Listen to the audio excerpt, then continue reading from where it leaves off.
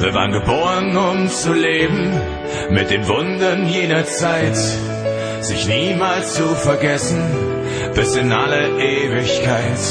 Wir waren geboren, um zu leben, für den einen Augenblick, bei dem jeder von uns spürte, wie wertvoll Leben ist.